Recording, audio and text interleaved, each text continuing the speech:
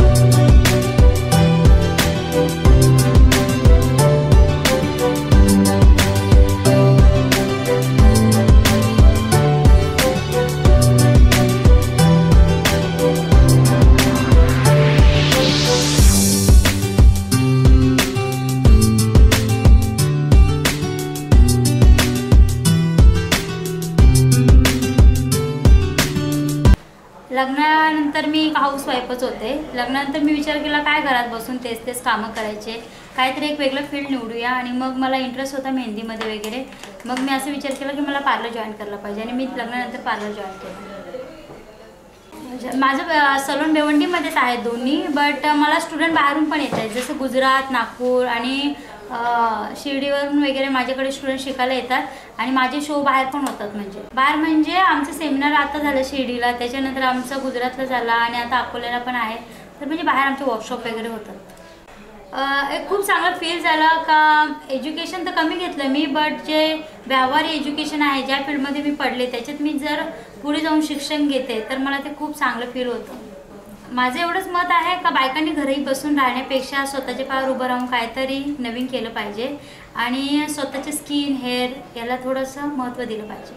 खूप वर्ष आधी ही लोकांच्या मनात भावना होती बट मला आता वाटत नाही का सध्याच्या कंडिशनला पार्लरवरनं कुठे कमी लेखलं जातं. नोट टू बी पार्लर मी एक मेकअप आर्टिस्ट आहे. सलोन मी पूर्ण करू शकते बट माझं स्पेशली फील्ड आहे मेकअपचं तर मी मेकअपमध्ये मेकअप आर्टिस्ट आहे. आणि कुठलंही फील्ड वाईट नाही. त्याच्यातून काय चांगलं घेणं हे प्रत्येकाच्या याच्यावर आहे. प्रत्येक गोष्टी आज बाहेर जाण्यास वेगवेगळ्या कारणाने पैसे कमवतात.